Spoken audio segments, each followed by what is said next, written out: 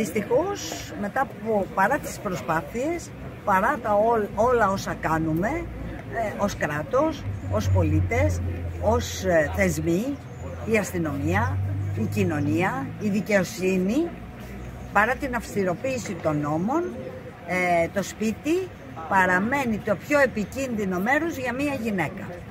Ο αγώνας πρέπει να είναι συνεχής και αυτό δεν έχει να κάνει με συγκεκριμένη χώρα και συγκεκριμένη κυβέρνηση. Για παράδειγμα, ε, η Γαλλία έχει ε, το μεγαλύτερο αριθμό γυναικοκτονιών.